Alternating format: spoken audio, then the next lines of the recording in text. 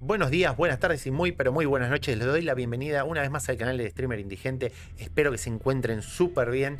Hago este videito rapidito porque sucedió algo que me llamó muchísimo la atención. Muchísimo la atención y es que hoy eh, 0150 de Argentina, ¿sí?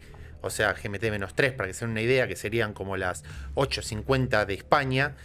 Eh, me llegó una actualización de Call of Duty Warzone de 5.15 GB.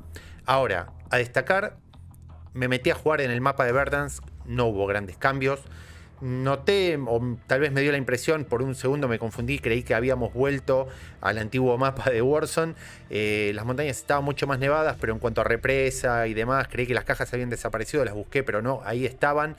Pero me llamó la atención algo que sucedió en el lobby. Y más a tener en cuenta un detalle importante que ahora les voy a pasar a mostrar en pantalla. Eh, vamos a pasar a la pantalla de gameplays, ¿sí? Como podrán observar, no sé si lo llegan a notar, eh, el lobby cambió. ¿sí? El lobby cambió. Y cambió de una forma bastante llamativa. Primero principal que ya no vemos el lobby que se había dado para el comienzo del evento de esta temporada, sino que fue reemplazado por una serie de edificaciones que dan a entender que pareciera Verdansk, pero ligeramente modificado. ¿sí? No sé si se va a llegar a apreciar, pero sí lo llegan a notar. Aquí a la izquierda en la pantalla van a encontrar la torre del camión y también los numeritos. No sé si llegan a ver los numeritos, por ejemplo, donde eligen la partida, ahí es donde más se nota, están los numeritos, los famosos números de las puertas rojas dando vueltas. También otra cosa que me llamó muchísimo la atención es que hay unos números muy particulares en las señalizaciones. De hecho, mientras estoy hablando, espero que aparezca alguno, porque la verdad que para ponérmelo a editar es una tremenda flojera. Eh, ahí está, fíjense, hay varios carteles. Algunos tienen la inscripción 10, 12, otros 07 08. Ahí está.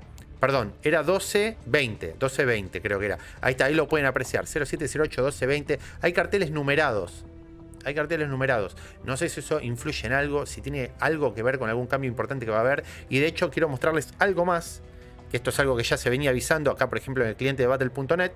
Que es que el día de hoy en Argentina, o sea, si pueden, si pueden observar acá arriba, eh, va a estar tapado de todas maneras. Voy a ocultar un segundo lo que sería el overlay de Twitch, ¿sí? para que se pueda leer bien.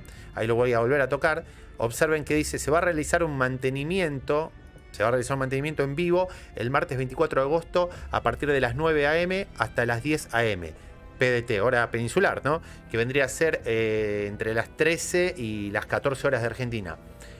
Evidentemente, esta actualización algo tiene que ver. ¿sí? Algo tiene que ver. ¿Se nos viene alguna sorpresa? ¿Algún evento? ¿Va a pasar algo con estas cajas de transmisión? Con estos camiones que tienen ese llamativo botón. No sé si vieron los camiones con torre que están, por ejemplo, cerca de lo que sería la zona de Boneyard, ahí entre el camino a hospitales, que hay algunos camiones con, con una torre de transmisión y tienen un botón rojo. ¿Pasará algo de eso? ¿Habrá alguna novedad? ¿Será una simple adaptación a lo que se viene de Vanguard? No lo creo. ¿Saben por qué? Porque me llama la atención esto. Me llama la atención este lobby. No sé cuáles serán sus teorías.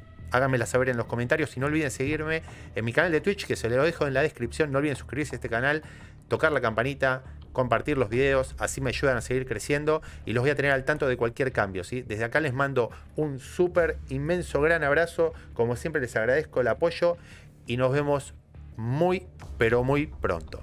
Abrazo grande. ¿eh?